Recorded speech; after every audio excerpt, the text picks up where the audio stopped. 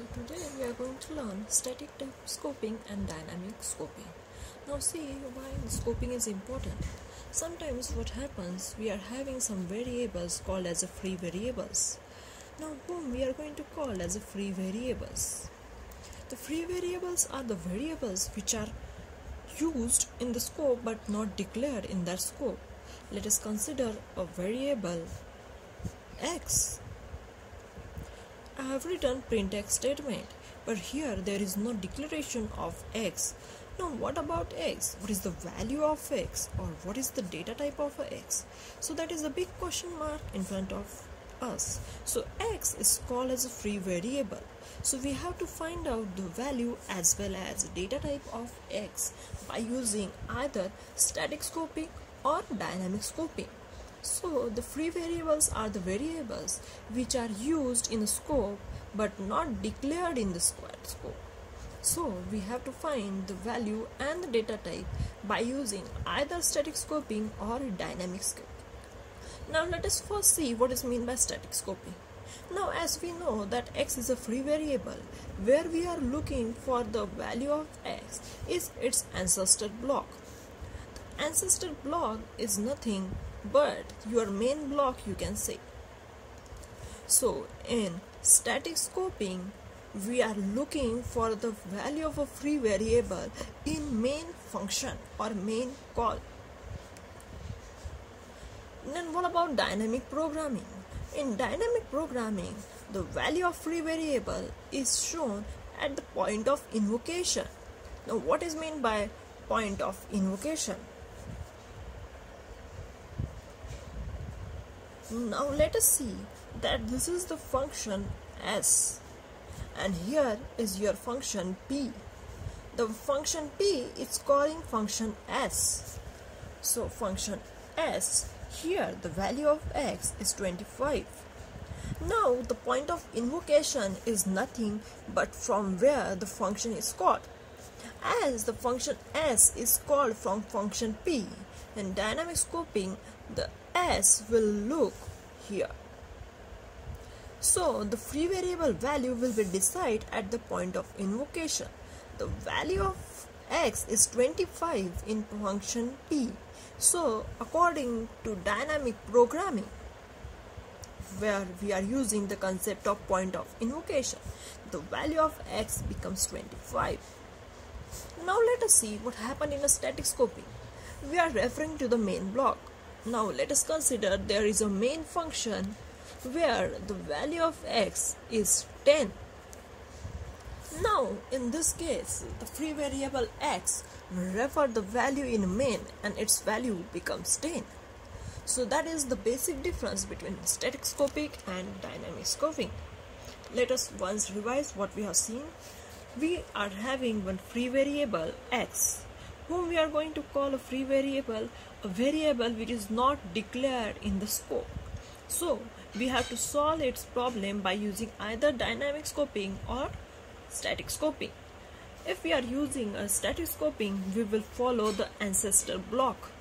Ancestor block is nothing but your main function.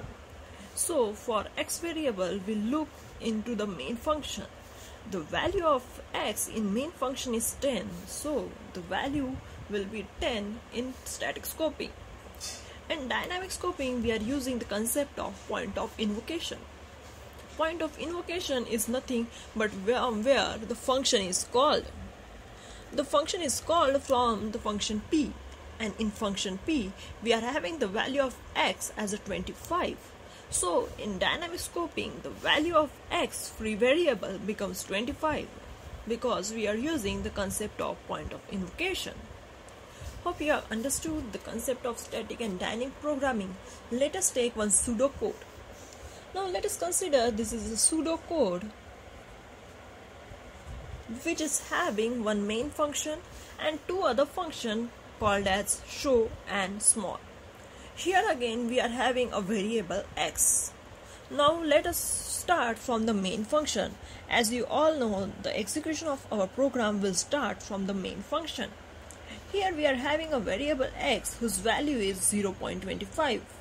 After that we have called the function show As we call the function show, the control will be passed to the function show. Here we are having the function show. Inside the function we are having a single statement that is print x. Here x is our free variable. Now our problem is that we have to decide the value of x. Let us take both the conditions that is static scoping as well as dynamic scoping. Here I am having static and here I am having dynamic scoping. Now let us see the free variable value x in terms of static scoping. Show is a function, so x is a free variable. In static scoping, as we have seen, we have to follow the ancestor block that is our main function. So whatever the value of x is in main function will be printed over here that is 0.25. Now next we will come back to the main function the second call is for small. Small will get called in second function call. Inside small we are having x as a real and we are having the value of x is 0.25.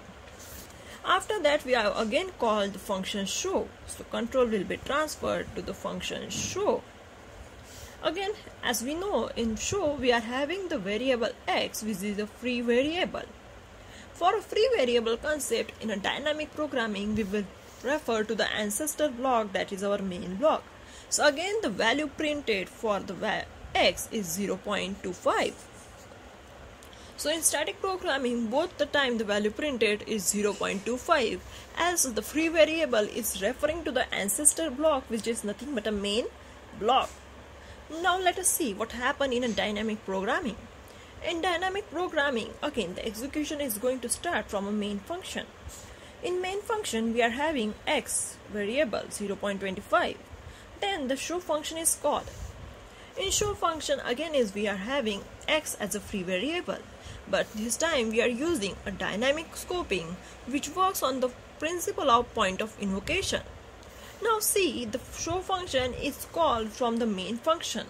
So for the value of x, we will refer to the main function. The main function value of x is 0.25. So in dynamic programming, the first value printed is 0.25. Next, the small function is called. Now in small function, again we are calling the show function. So we will go to the show function, function again. Here again we are having the free variable x. But as we are using a dynamic programming, we have to see the point of invocation.